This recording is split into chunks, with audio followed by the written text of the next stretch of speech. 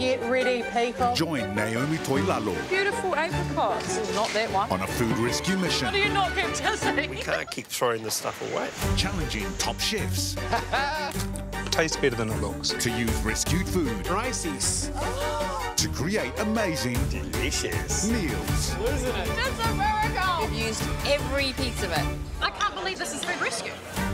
Food Rescue Kitchen, Saturday at 7 on 3 Now and 3.